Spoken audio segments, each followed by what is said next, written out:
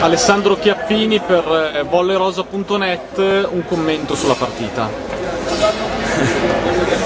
Purtroppo non ce l'abbiamo fatta, è stata dura anche oggi, sapevamo che comunque questa serie sarebbe stata molto molto difficile per noi perché non eravamo diciamo, con un organico tale da poter eh, effettuare anche delle grandissime variazioni. Oggi abbiamo provato anche delle cose un pochino strane, tra virgolette, no? proponendo la guerra come palleggiatrice per sfruttare magari l'attacco di Spasojevic e soprattutto cambiare un pochino la tattica del gioco visto che ci avevano un pochino inquadrato il nostro sistema no? però anche questo purtroppo non ha avuto buon esito e penso che alla fine Bergamo ha strameritato di, di andarsi a giocare questa finale perché comunque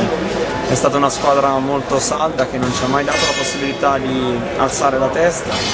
e quindi questo ha fatto sì che eh, loro potessero giocare diciamo, in maniera abbastanza spedita. E, tutto qua. Il cambio di Agüero che hai messo nel ruolo di alzatrice per eh, parte dell'incontro è stato diciamo, di natura al 100% tecnica o c'entrava anche qualcosa comunque la condizione fisica di, di OEC, l'hai fatta no, riposare? No, abbiamo, voluto, abbiamo provato il primo set a giocare in quel modo, poi dopo a un certo punto visto che in ogni caso non stava andando bene abbiamo provato da metà set no, a fare questo cambiamento, ho visto che tutto sommato qualche qualche segno positivo lo aveva dato, perché comunque loro dovevano adattarsi un pochino a questo tipo di gioco un po' diverso, no? e allora ho voluto riproporlo anche all'inizio del secondo set con la speranza che magari ci fosse una possibilità di riaprire l'incontro. Però purtroppo anche questo non è bastato e ancora abbiamo fatto qualche errore di troppo banale perché è normale che normale, tanto normale non è, però purtroppo ci può stare, visto anche diciamo, gioventù che c'è in campo, no? bisogna veramente fare complimenti a loro per come sono espressi in queste gare penso che non è che ci si poteva aspettare che facessero chissà,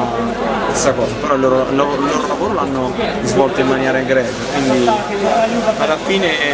dovevamo, potevamo tutti fare qualcosina in più, questo è sicuro, perché comunque qualcosa in più la squadra poteva fare, eh, però mi rendo anche conto che forse andando alle lunghe avremmo pagata sempre più questa situazione. E credo che Bergamo sia andata in finale meritatamente. Eh, una parola sulle condizioni di Paola Cardullo che anche oggi non è scesa in campo, ecco, anche se oggi la stagione per Novara praticamente è finita, anche in prospettiva futura tu come, come, come vedi le condizioni avrà, della Adesso avrà diciamo, del tempo per poter recuperare pienamente questi, questi problemi, dovrà fare degli accertamenti specifici e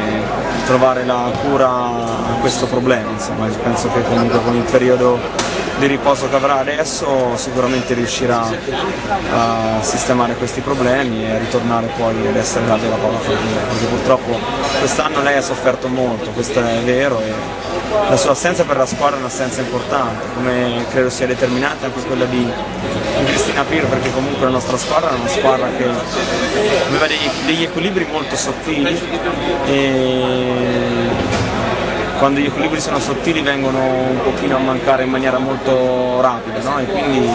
è normale che un'assenza si potesse un pochino pagare, due assenze si pagano ancora di più quindi l'assenza della Calloni stessa perché Raffaella anche stava giocando in maniera egregia quindi sicuramente era un'opportunità in più per variare qualcosa sia a livello tecnico, mentale ma soprattutto tattico e quindi alla fine la sfortuna non ci ha mai abbandonato quest'anno. Mi dispiace, sono molto rammaricato per questo perché penso che con la nostra squadra al completo ci saremmo potuti giocare alla grande questo, questo scudetto invece purtroppo siamo qua a spiegare. Quindi un'ultima domanda doverosa comunque dopo l'ultima partita di una stagione. Questo è stato il tuo primo anno a Novara, eh, Novara comunque uscita in semifinale in campionato volendo elencare magari risultati non raggiunti, non ha raggiunto la Final Four di Coppa Italia, però sono state vinte due coppe, Supercoppa Italiana e Top Teams Cup. Se devi fare un bilancio della stagione e anche della tua stagione personale che hai vissuto qui a Novara, come la consideri? Personalmente per me questa è stata un'esperienza stupenda, vissuta insieme ad una società eh, che mi ha dato tantissimo, insieme a un gruppo di ragazze che mi hanno dato tantissimo e quindi per me è stata un'esperienza bellissima che spero di poter ripetere. Dall'altro canto, cioè dalla parte dei risultati, io penso che eh, abbiamo ottenuto due obiettivi importanti, due della Supercoppa e della Top Team Cup, purtroppo ce ne sono sfuggiti altri due. Eh, siamo arrivati alla Coppa Italia in un momento particolare, con una condizione particolare dovuta a tante situazioni, però non è giusto trovare delle giustificazioni. E con quel periodo non stavamo giocando bene, abbiamo incontrato una squadra forte, anche lì forse se potevamo giocare la partita con Pesaro al completo probabilmente non ci saremmo ritrovati a giocare la semifinale con Perugia, scusa, i quarti di finale con Perugia e quindi potevamo avere un accesso alla Final Four più facile, no? Poi dopo comunque una volta raggiunta la Final Four è normale che te le giochi, la vincitrice è una sola, quindi